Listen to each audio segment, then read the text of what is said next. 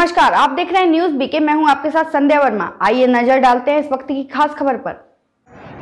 हमीरपुर ज़िले में स्कॉर्पियो गाड़ी में विधायक लिखाकर अवैध वसूली करने वाले युवकों को पुलिस ने गिरफ़्तार कर लिया है। बता दें कि बुधवार रात सदर कोतवाली पुलिस को सूचना मिली कि एक सफ़ेद रंग की गाड़ी के साथ दो लोग, रानी लक्ष्मीबाई चौराहा, कोतवाली सदर पर ट्रकों से अवैध वसूली कर रहे हैं।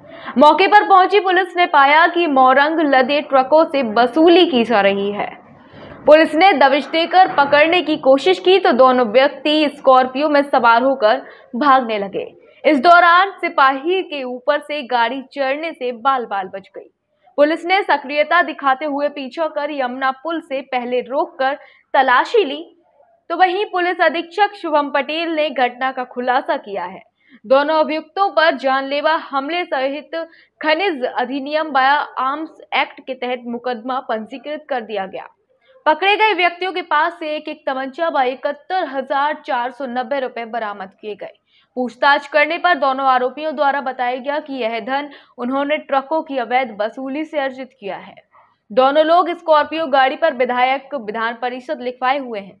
तथा हूटर भी लगा है। दिनांक 30 तारीख को देर रात पुलिस द्वारा, कोतवाली पुलिस द्वारा चेकिंग की जा रही थी, जिसमें ये सूचना प्राप्त हुई कि एक सफ़ेद रंग की गाड़ी है, जिसमें दो लोग, जो रानी लक्ष्मीबाई तिराहे पर वहाँ से पुल के बीच में अवैध वसूली कर रहे हैं ट्रकों से, इस सूचना पर जैसे ही पुलिस टीम पहुँची तो इन दो व्यक्तियों द्वारा मौका पाकर वहाँ से भागने का प्रयास किया गया। और जो पुलिस की टीम आगे उनको रोकने का प्रयास कर रही थी, उन पर भी गाड़ी चढ़ाकर मारने का प्रयास किया गया टीम को।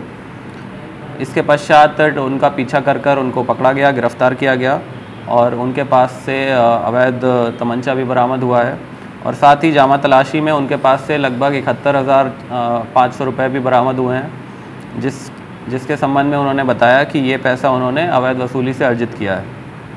और ये जिस गाड़ी का प्रयोग कर रहे थे उस पर विधायक का स्टिकर लगा हुआ था, हूटर लगा हुआ था।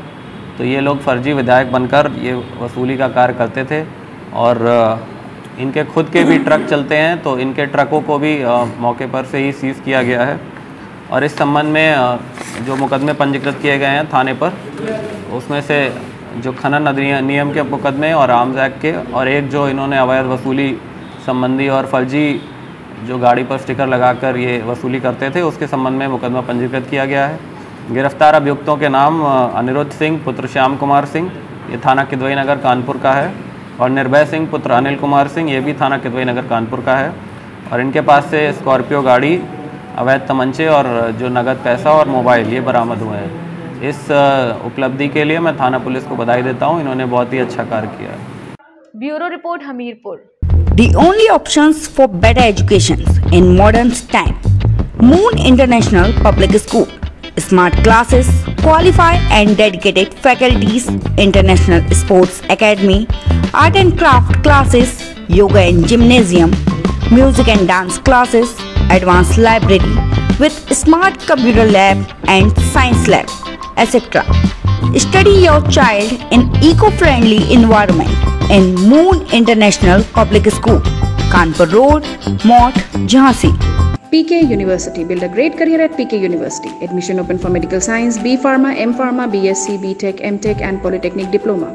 Contact now www.pkuniversity.edu.in. Address Thandra Village, Jhansi Road, Shivpuri. ज़िले का सबसे उत्तम कृषि महाविद्यालय श्याम राघवेंद्र कृषि महाविद्यालय व डिग्री कॉलेज बीएससी कृषि BA, BEd, BCom, BSc biomath ग्राम धवाकर मऊरानीपुर झांसी।